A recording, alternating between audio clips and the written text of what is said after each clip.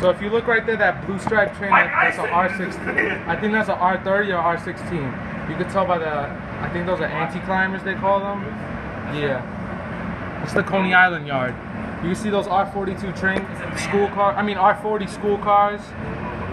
You see that red train? I think that's an R16. That's unrepainted. It has to be repainted soon.